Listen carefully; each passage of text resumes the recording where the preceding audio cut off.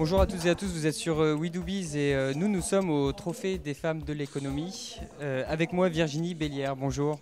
Bonjour. Virginie Bélière, vous êtes dirigeante de Hydro France et vous venez d'être récompensée, vous êtes lauréate dans la catégorie euh, Internationale. internationale, hein, c'est bien ça, internationale, euh, au Trophée des femmes de l'économie 2015 dans la région Grand Sud-Ouest. Alors déjà, première réaction à chaud, qu'est-ce qu'on ressent quand on entend euh, son nom prononcé par, par l'animatrice? Eh ben, ça fait forcément très plaisir parce qu'on ne s'y attend pas. Parce qu'on est quand même une toute petite entreprise, donc ça fait quand même mettre en avant une petite entreprise, c'est quand même important. Et au moment, c'est bon. Voilà, un grand plaisir d'être nominé. Un grand plaisir ouais. donc et de et de D'avoir- ga- d'avoir et- gagné. et d'avoir gagné.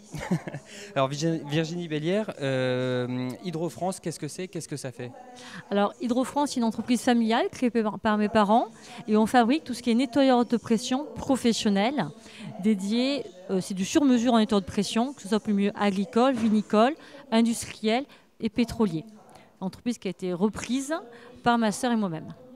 Ah, D'accord, donc c'est les, euh, les deux sœurs qui reprennent un, milieu en plus qui doit être, euh, j'imagine, euh, quand même Très technique très- et très masculin. très masculin, ouais. Surtout que moi, bon, moi j'ai fait des études techniques, donc j'ai repris vraiment euh, le côté technique et commercial.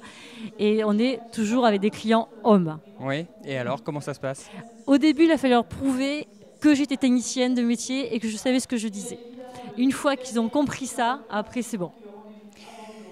Virginie Bélière, pourquoi est-ce que vous avez euh, décidé de participer au Trophée des femmes de l'économie?